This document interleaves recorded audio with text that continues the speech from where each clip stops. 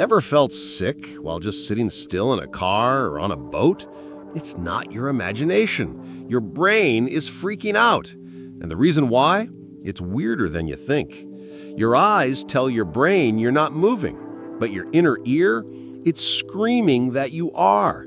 This sensory mismatch is like a system glitch, and your brain panics. In ancient times, mixed up senses meant one thing poison. So your brain's emergency response? Empty the stomach. Fast. That's why motion sickness strikes in cars, on boats, even at virtual reality. Your body's still, but your senses disagree. It's the modern version of a prehistoric warning system. You can fight back. Fresh air, focusing outside, ginger, even meds. Let your senses sync up again. Give your brain the right signals, and it'll chill out.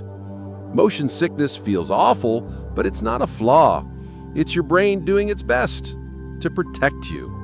Weird, right? But kind of amazing, too.